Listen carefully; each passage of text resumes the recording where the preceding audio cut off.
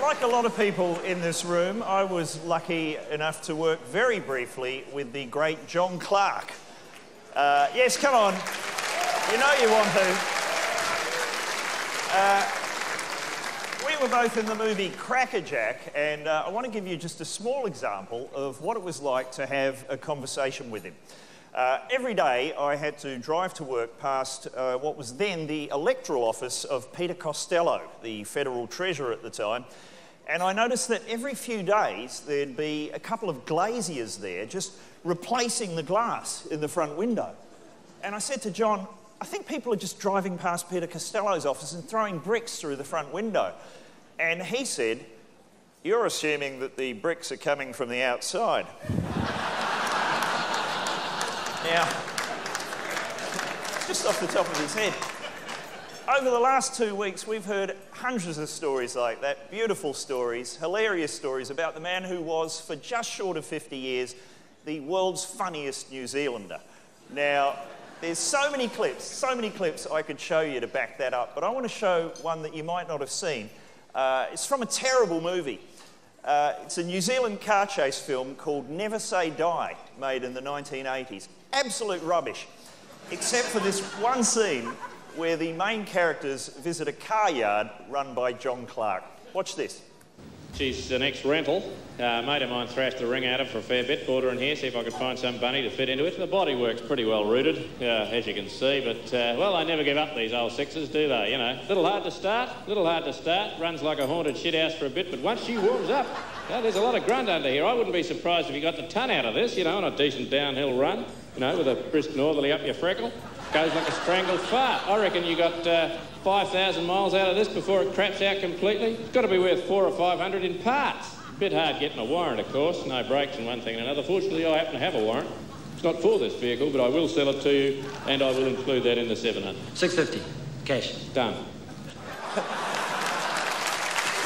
yes. Goes like a haunted shithouse. Uh, better than anyone else, John knew where the funny words were and how to deploy them. And the idea that he's not going to be on TV this Friday pretending to be Malcolm Turnbull or Pauline Hanson is wholly unacceptable. But luckily for us, there are literally thousands of hours of John Clarke genius on the shelf for us to enjoy. oh, g'day. How you doing? Haven't seen you for a while. Just turn the telly on here. Shouldn't take long to warm up. I dropped a new spark plug in it the other night. She's going pretty good now.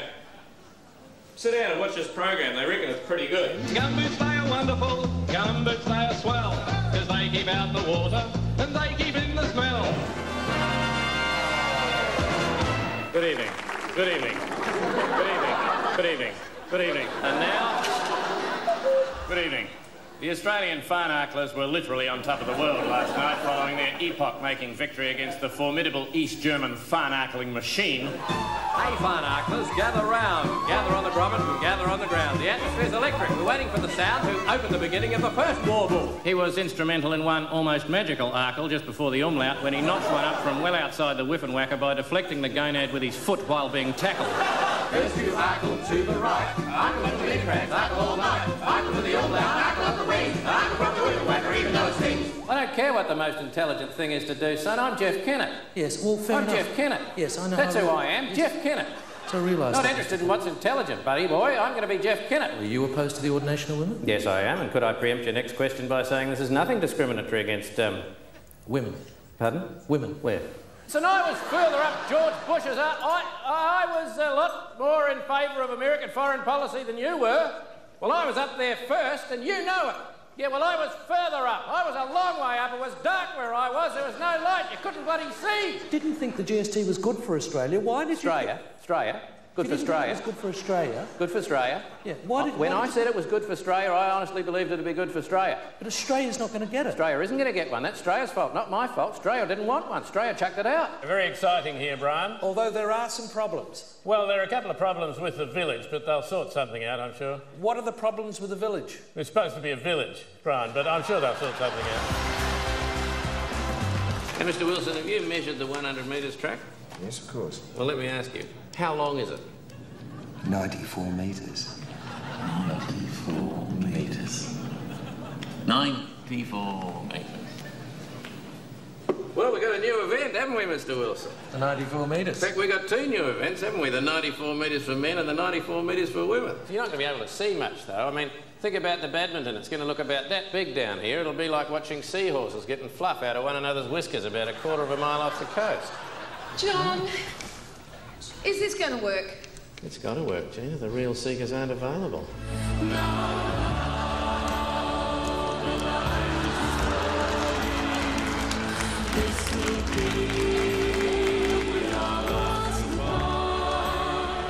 Big Dave Sorensen stepping on the sword, arkling backwards, arkling forwards, arkling from all points. Oh, good lord, now that's a phenomenal arkle. Comes Sorensen arkling at will, passing defenders, arkling still. Look at that for symmetry and rhyme. He's a legend in his injury time. Gets in a lot of trouble. Exactly, sublime. You get on with it. I'll get out of your way now. I'll see you later.